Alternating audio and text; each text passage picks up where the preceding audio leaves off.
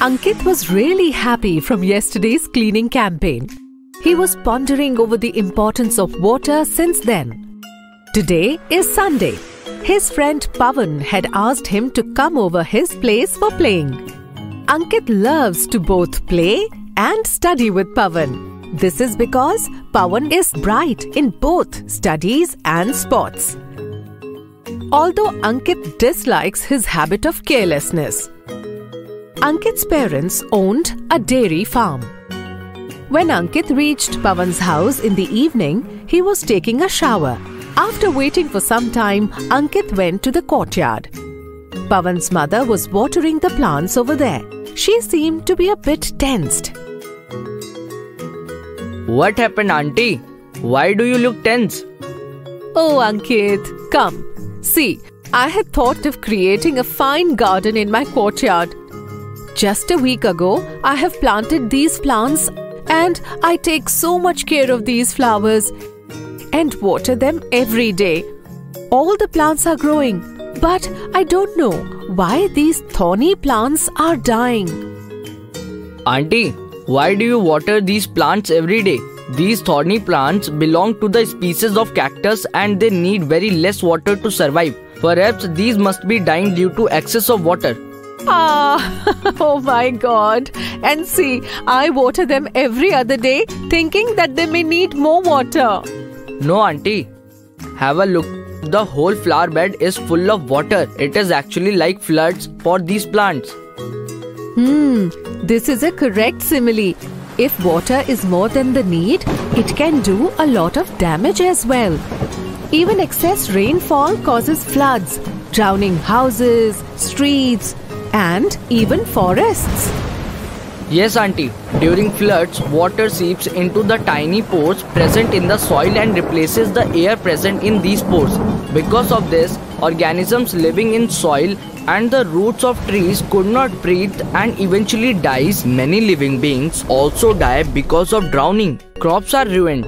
Just like that, these flower beds seems to be flood prone. From now on, I will water these cactuses once in a few weeks only. Just then, Pavan, who was listening to Ankit's conversation for a while, comes from behind.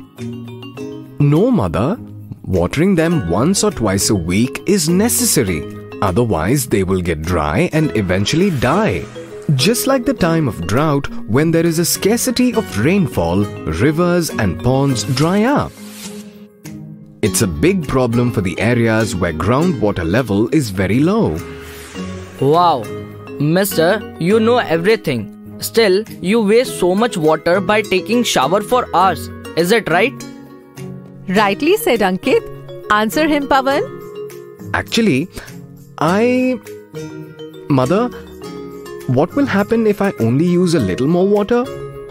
See that? So much water gets wasted on our dairy farm. Pavan, don't you think we should do something about that first? But we are helpless in that. Water is needed to bathe the animals and wash their stables. Auntie, I have a solution to fix this issue. You can use all this water again by filtering it. Filter? We have a water filter at our home, but that is way too expensive. How are we going to install a filter on such a large scale? Ankit, I think it's a good idea though. We can filter water naturally as well. Why don't we show the process which we learnt while doing the science project to her? Pavan and Ankit brought a water bottle from inside. Then Ankit cuts it from the bottom. Both kids placed a cloth at the top of the bottle first. Then, one by one, they made layers of coarse sand, charcoal, fine sand, and gravel till the top. Pavan pours dirty water in it. In a while, water droplets start falling from the mouth of the bottle.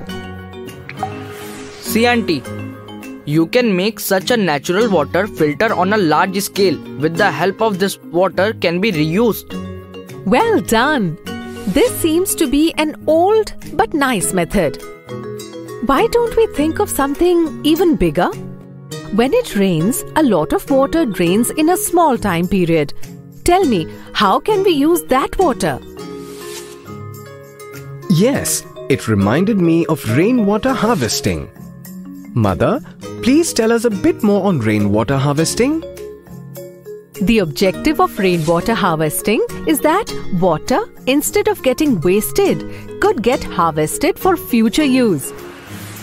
If we assume the roof as a funnel and attach a pipe to it to collect water, a lot of water can be harvested in this way. Now, you both think and tell me what shall be done. Mother, we can build a huge tank where rainwater will get collected, which can be used at the time of need. The tank shall be covered all the times so that the water doesn't get evaporated. Yes, absolutely. We can do one more thing.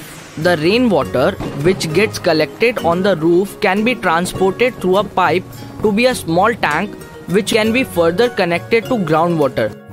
By this method, rainwater will get mixed with groundwater. If we keep the floor and roof of the house slanting towards the tank, then the rainwater of the surrounding area will also seep into the earth. By doing this, we will not face water scarcity problem throughout the year. Alright, kids.